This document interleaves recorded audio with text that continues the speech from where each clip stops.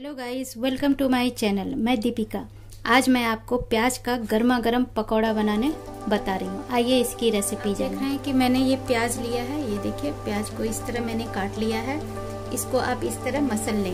इससे होता है ये सारा जो है ये अलग अलग हो जाएगा। ये देखिए पतली पतली सारा निकल गया। अगर आप इस तरह पतला काट सकते हैं तो आप काट लीजिए। मैंने चार प्याज लिया है। चार प्याज को इस तरह पतली तरह आप काट लीजिए पहले। अब मैं इसे अब मैं इसमें कटा हुआ हरा मिर्च, मैंने चार पाँच हरी मिर्च काट लिया है, चॉप कर लिया है छोटे छोटे वो मैं डाल रही हूँ।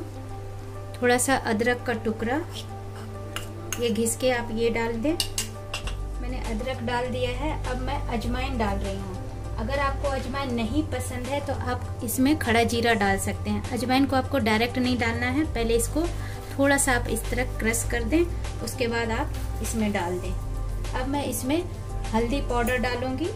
हल्दी पाउडर आप आधा चम्मच इसमें डाल आप इसमें एक चम्मच लाल मिर्च डाल दें। अगर आपको तीखा ज़्यादा पसंद है तो आप ज़्यादा डालें अगर कम पसंद है तो आप कम डालें। अब मैं इसमें दो बड़े चम्मच बेसन डाल रही हूँ ये देखिए। बेसन मैंने अभी कम ही डाला है क्योंकि धीरे धीरे मैं डालूँगी ताकि कितना लगता है या नहीं लगता है। अब मैं इसमें एक चम्मच नमक डाल रही हूँ। नमक आप स्वाद अनुसार डालें। और इसे आप इस तरह करके मिलाएँ। देखिए। अब आप देख रहे हैं कि मैंने मिला लिया इसमें बेसन थोड़ा कम लग रहा है, इसलिए मैं एक चम्मच और डालूँगी। ये देखिए। और फिर इसे मैं मिलाऊँगी। इस तरह आप मिलाएँ और इसमें हल्का सा पानी डालें। ज़्यादा पानी आपको नहीं डालना है। इस तरह आप सबको मिला लें। ये देखिए। जब ये इस तरह बनने लगे तो आप समझ जाओ कि आपका रेडी हो चुका है। ये देखिए। आप हल्का पानी जब तक नहीं डालिएगा तो ये मिलेगा नहीं। अब इसे मैं अच्छे तरीके से पहले मिला लेती हूँ। देख रहे हैं कि ये अच्छे तरीके से मिल गया। ये देखिए। अब ये जैसे मैं पकौड़ी बनाऊँगी ये देखिए। इस तरह ये बन रहा है। आपको इस तरह का बनाना है। अब आप देख रहे हैं कि मैंने फ्राई पैन चढ़ा रखा है। उसमें सरसों का तेल डाला है क्योंकि ये सरसों के तेल में प्याज का पकौड़ी बहुत ही अच्छा लगता है। ये देखिए, इसको पहले ज़्यादा गर्म करना है। ये धुआँ निकल रहा है। अब मैं इसमें डालूँगी। ये इस तरह आप हाथ से भी डाल सकते हैं, स्पून से भी डाल सकते हैं। इस तरह आप डालिए।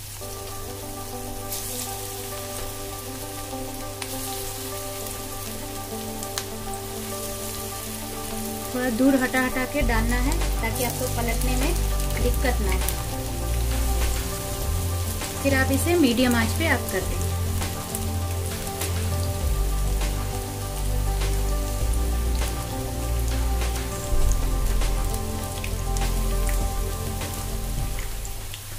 आप देख रहे हैं कि मैं इसे पलट रही हूँ, ये देखिए।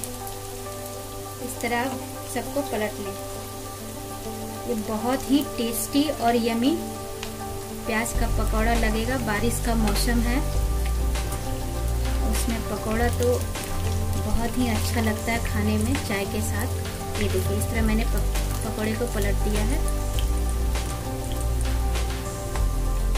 अब आप देख रहे हैं कि पकौड़ी ये लाल हो चुका है। ये देखिए। इसका कलर बहुत अच्छा आया है। अब मैं इसे प्लेट में निकाल रही हूँ। अब आप प्लेट में एक एक करके सबको निकाल लें। इस तरह का पकौड़ी बन गया अब मैं दूसरी बार इसमें बचा हुआ आपको स्पून से डाल के दिखा रही हूँ। ये देखिए। इस तरह आप स्पून से भी डाल सकते हैं। इस तरह जो बचे हुए हैं आप उसको सबको डाल दीजिए।